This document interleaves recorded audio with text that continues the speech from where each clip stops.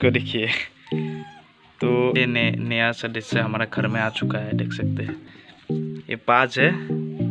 देख सकते हैं कितना क्यूट है देखिए। आओ आओ। ये देखो ये देखो।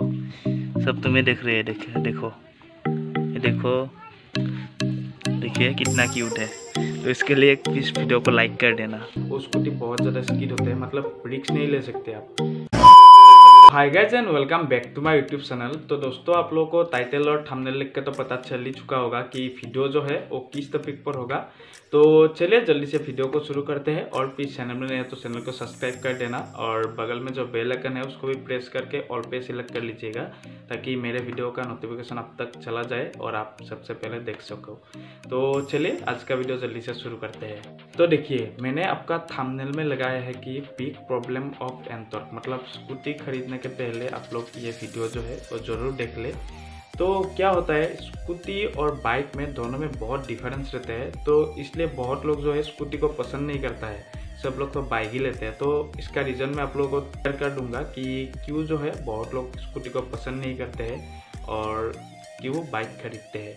तो स्कूटी को पसंद ना करने के कारण जो है, वो मैं आप लोगों को पहले बता देता हूँ। तो देखिए, पहला जो रीजन है, वो क्या है? स्कूटी का व्हील जो रहते हैं, वो एकदम ही छोटे रहते हैं, जिसके वजह से आपका माइलेज का या फिर जार्किंग का मतलब ज़्यादा प्रॉब्लम रहते हैं। आप अगर एक खराब रास्ते में बाइक को चला रहे हो तो आपको पता नहीं चलेगा कि जार्किंग बहुत ज़्यादा है। लेकिन स्कूटी में ये नहीं होता है। स्कूटी में आपको जार्किंग जो है, वो बहुत ज़्यादा फील होगा। तो इसलिए जो है, बहुत लोग आपका बाइक ही खरीदते हैं, जिसकी वजह से आपका जार्किंग में या फिर आपका माइलेज में आपको थोड़ा सा इम्प्रूव मिल जाए। लेकिन आपका, मेरा जो एंटॉर्क है, उसका व्हील की जो साइज़ है थोड़ा सा बड़ा है, इसलिए आपको जार्किंग की जो फील है, वो बाइक के तरह ही लगभग दे देते हैं। लेकिन बाइक तो बाइक ही है यार, ये तो मानना ही पड़ेगा। तो इसके वजह से जो है, आपका लोग जो है, वो स्कूटी को पसंद नहीं करते हैं। तो इसके वजह से और एक बिग प्रॉब्लम है, जो कि अभी मैं आप लोगों को बता दूँगा। तो स्कूटी में क्या होता है, आपका साइंटिफिकली स्कूटी का जो व्हील है और बाइक का जो व्हील है साइज़ जो है, वो अलग अलग है। बाइक का बड़ा है स्कूटी का छोटा है। तो इसलिए क्या होता है स्कूटी का जो ब्रेक ब्रेकिंग आपका एफर्ट है, वो ज़्यादा होता है। क्या होता है, आप ब्रेक को प्रेस किया तो व्हील में जो पावर आएगा ना, वो बहुत ज़्यादा आएगा। ये चीज़ बाइक में जो है, ये थोड़ा सा कम होते हैं। जिसकी वजह से बाइक जो है, वो स्कीड नहीं करते हैं जल्दी से।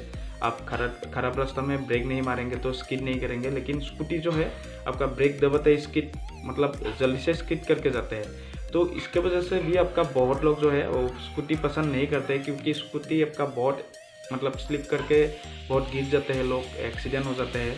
तो इसलिए आपका बहुत लोग, आपका बाइक ही पसंद करते हैं। बाइक जो है, वो जल्दी से स्किड नहीं होते हैं, लेकिन स्कूटी जो है जल्दी से स्किड हो जाते हैं। तो यही छोटा सा वीडियो मैंने आप लोगों के साथ शेयर किया।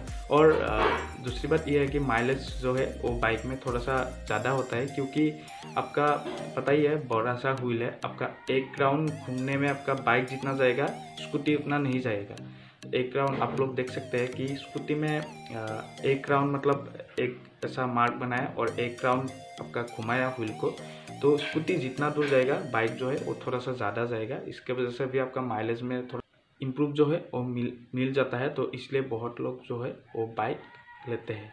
तो वीडियो में मैंने बताया कि बाइक जो है वो माइलेज अच्छा देते हैं, ख़राब रास्ता में आपका कंफर्ट जो है वो अच्छा रहते हैं, और स्कीड जो है वो स्कूटी बहुत ज़्यादा स्कीड होते हैं मतलब रिक्स नहीं ले सकते आप।